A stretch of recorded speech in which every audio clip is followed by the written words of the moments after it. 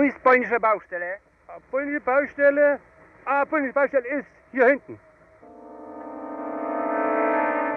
Na południu Niemieckiej Republiki Demokratycznej działa od lat polska centrala, której hasło głosi Budimex baut alles, budujemy wszystko. W Ilmenau z planów polskich inżynierów i pracy rąk polskich robotników powstają najnowocześniejsze urządzenia fabryczne potrzebne nie tylko NRD, lecz gospodarce wszystkich państw socjalistycznych. NRD mają na to słowo Weltniveau, poziom światowy.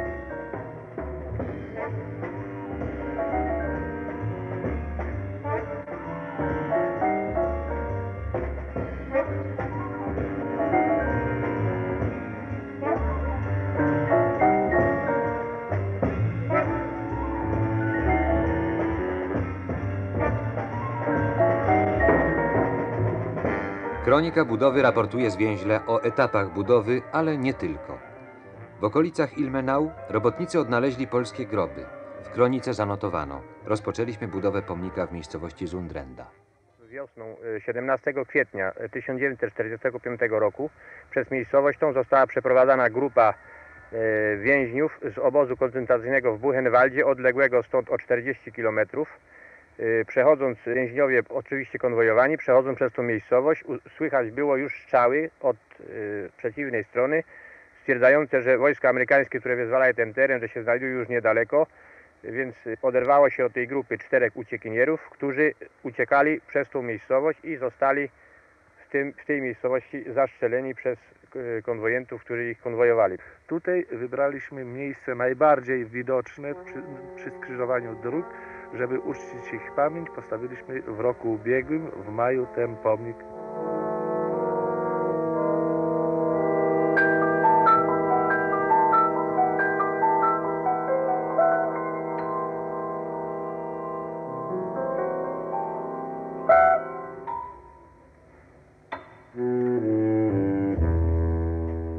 Zbadali nasi robotnicy szlaki przymusowej wojennej pracy swych ojców i odkryli Bechstedt. Tu w roku 1941 hitlerowcy powiesili 11 Polaków, bojowników akcji oporu, więźniów w obozie koncentracyjnym w Buchenwaldzie. Na tę egzekucję spędzono dla zastraszenia tysiące zatrudnionych w okolicy polskich robotników przymusowych. Dziś mauzoleum polskich ofiar faszyzmu przypomina i ostrzega.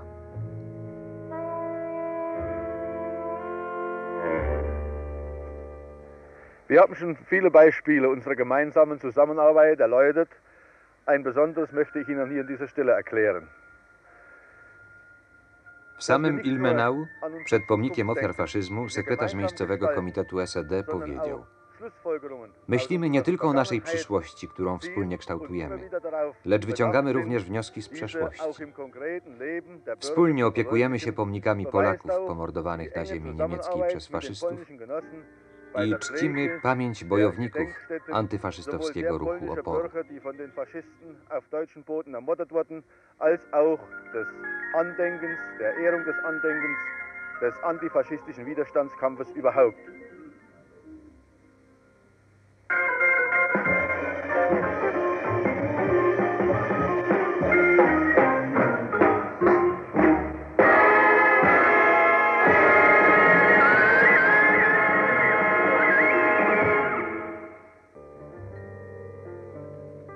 Drugiego maja 1945 roku o godzinie 6.55 rano wojna w Berlinie skończyła się pod Brandenburską bramą.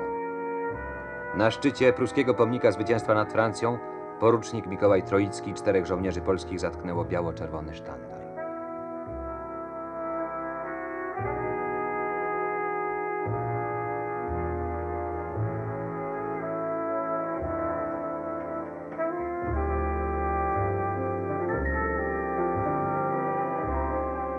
Podczas całej wojny polskie dywizjony bombowe stacjonujące w Anglii zrzuciły 15 tysięcy ton bomb na cele w Niemczech.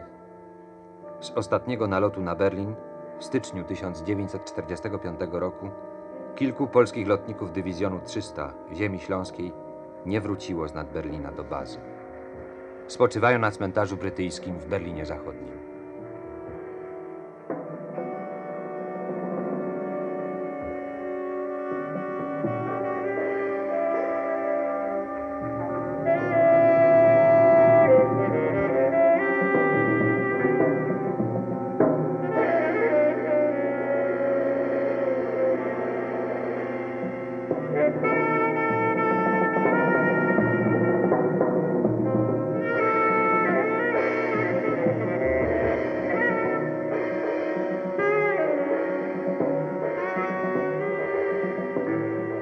Berlińskim więzieniu Plecenze ginęli żołnierze polskiej armii podziemnej. W baraku śmierci, pod toporem kata, na hakach szubienicy i pod gilotyną. Uśmiercano Polaków, Czechów i Niemców jeszcze w przeddzień wyzwolenia.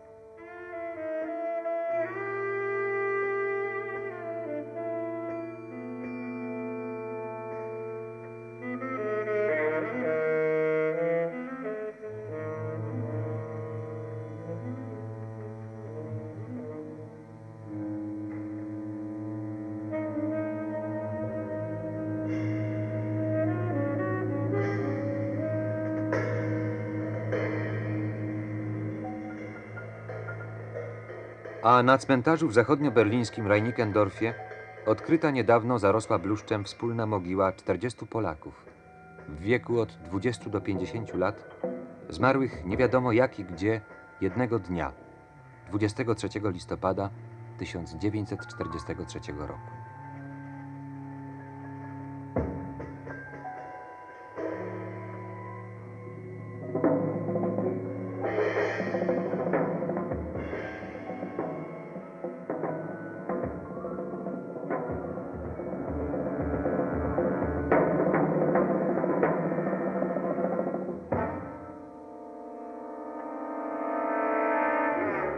Drodze do Berlina w kwietniu 1945 roku żołnierze radzieccy i polscy wspólnie zagrodzili drogę nacierającej z pomocą Hitlerowi armii generała Wenka i zatrzymali Wehrmacht na rynku w Klosterfelde.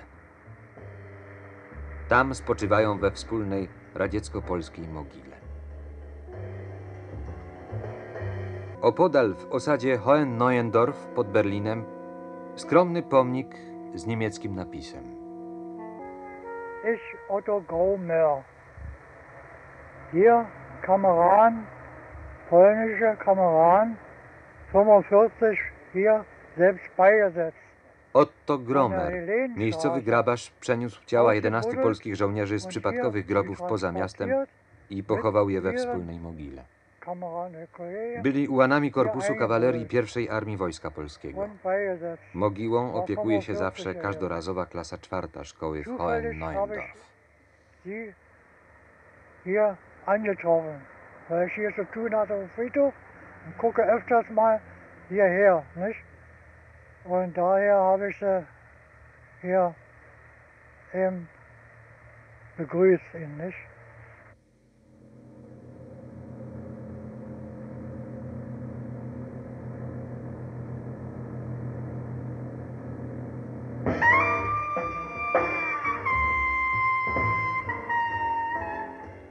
Rejon Magdeburga. Synonim dobrej polskiej roboty brzmi tutaj Rudex z Częstochowy.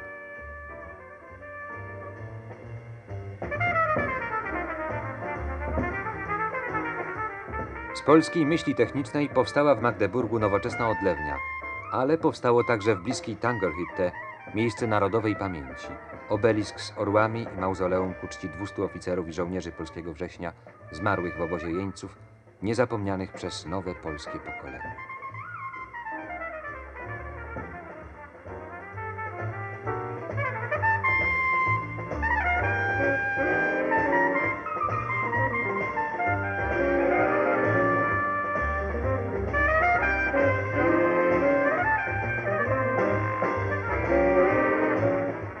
Nieraz jeszcze przy budowie różnych obiektów przemysłowych polscy robotnicy znajdują polskie orły wojskowe i ślady pozabitych i poległych.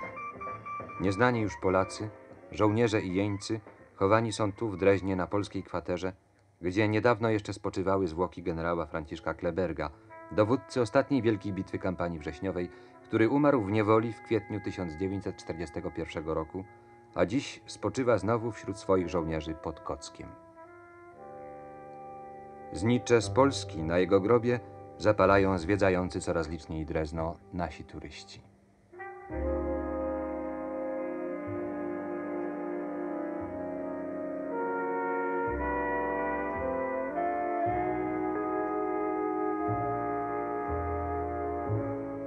W kwietniowych dniach roku 1945 zadaniem II Armii Wojska Polskiego było także zdobycie Budziszyna.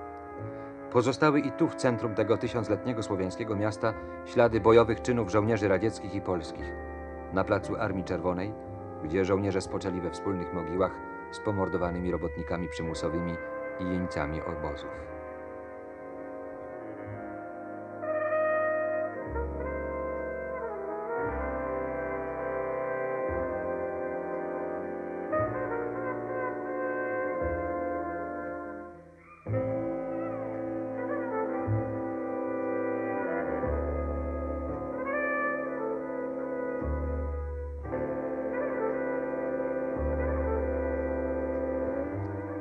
Krwawe były walki na przedpolach stolicy Łużyc. Serbo-użyczanin Jan Czyż, pierwszy starosta powojenny tych ziem, dziś emerytowany profesor Łużyckiego Instytutu Narodowego, wspomina przy pomniku 80 polskich i radzieckich żołnierzy w miejscowości Wujerzek. Bysie to nie, nie lat po, po II światowej wojnie, e, kiedy e, przyjechał Wkrótce po zakończeniu wojny, kiedy przyjechałem do wsi Wujerzek, Powiedziano mi, że w lesie blisko wsi leży pomordowanych 80 polskich i radzieckich jeńców. Komisja, którą tam posłałem, znalazła te ciała. Niektóre pochowano na miejscu, a inne przewieziono do Polski. Zresztą potem z wieczego dziela tu po Kowachu, a niektóre też do Polski odwiezli. na mieście, gdzieś, gdzieś, gdzieś się morderstwo stało, w miejscu, gdzie popełniono morderstwo, stoi pomnik, który przypomina przechodniom o zbrodniach i bestialstwie. Pomnik zbudowano z funduszów powiatu i tej wsi. A jest to stał ze z, e, fundusza e, w okresa, a też z. A każdy, przy każdej, e,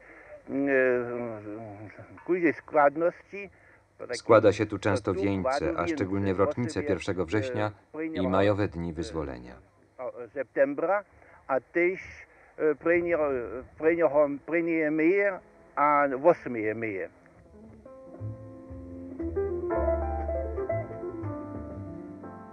Wiele prochów zgromadziła ziemia łużycka. Na leśnej polanie, starannie pielęgnowany przez łużyczan grób kilkudziesięciu poległych Polaków.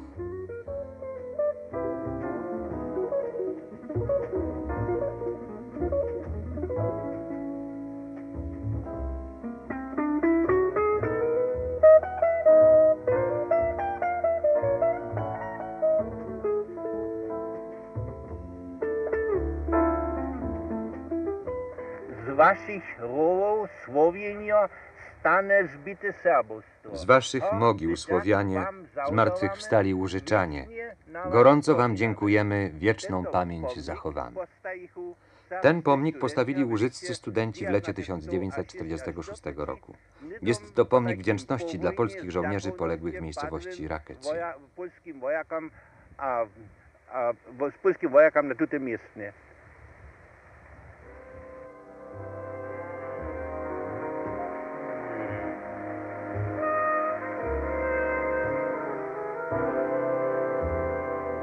Żywa jest wśród Łużyczan saga trzech braci Korczyńskich, żołnierzy Korpusu Pancernego II Armii Wojska Polskiego. W pamiętnych dniach kwietnia 1945 roku w ciężkich bojach z pancernym zgrupowaniem hitlerowskiego feldmarszałka Schernera, który Hitlerowi śpieszył na odsiecz z południa, czołgi polskie w Nowej Wsi Łużyckiej miały przekroczyć rzekę i zdobyć przyczółek. W kolejnym natarciu, wspomina przy ich mogile nauczycielka Łużycka, spaliły się trzy czołgi, a w nich polegli trzej bracia Korczyńscy. we swoich pancerach, tankach są oni potem przyszli w ożywienie. Tu te tanki są upalili.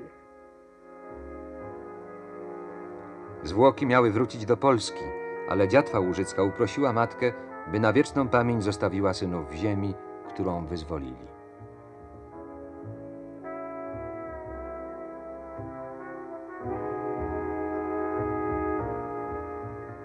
Historia Doliny Śmierci wygląda w ten sposób, że 9 Dywizja II Armii Wojska Polskiego, która najbardziej była wysunięta na zachód, to znaczy była prawie że pod samym Dreznem, otrzymała rozkaz wycofania się w rejon Budziszyna.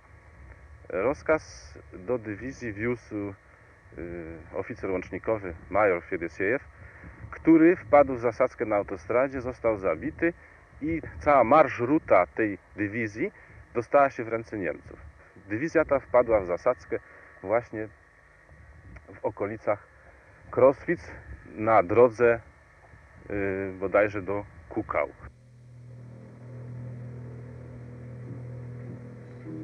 Technik z polskiego przedsiębiorstwa w Hagenwerder zna historię tej doliny w każdym szczególe.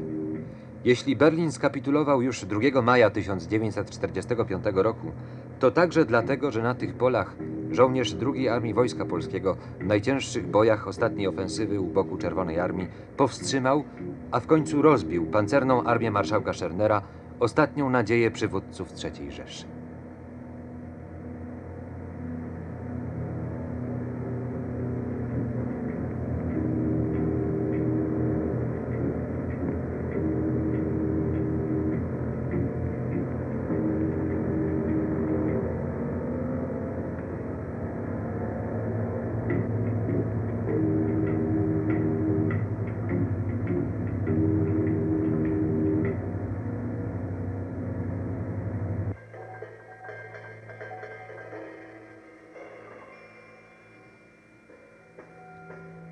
Pomnik poległych w Dolinie Śmierci wystawili Łużyczanie w Chrościcach. Obelisk ku czci 9 Dywizji Polskiej stanął na kurhanie, w którym, jak donosi historia tych ziem, kiedyś Germanie chowali swoich rycerzy, idących za czasów Chrobrego na podbój zachodnich Słowian. To był czas przeszły.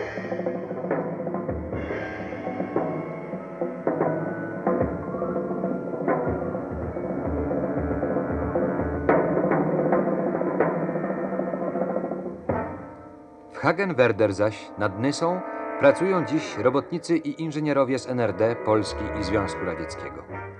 To już czas teraźniejszy.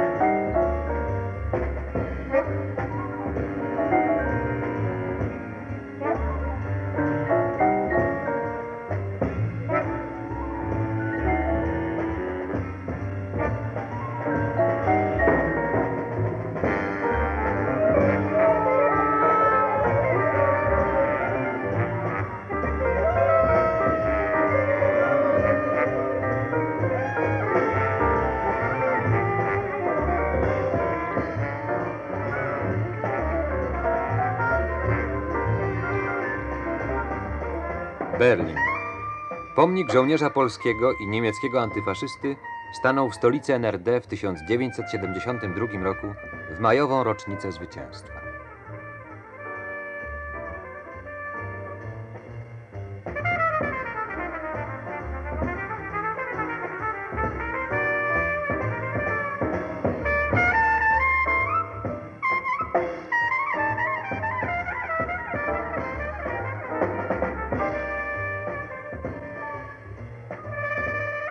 Wrósł już ten pomnik w życie miasta.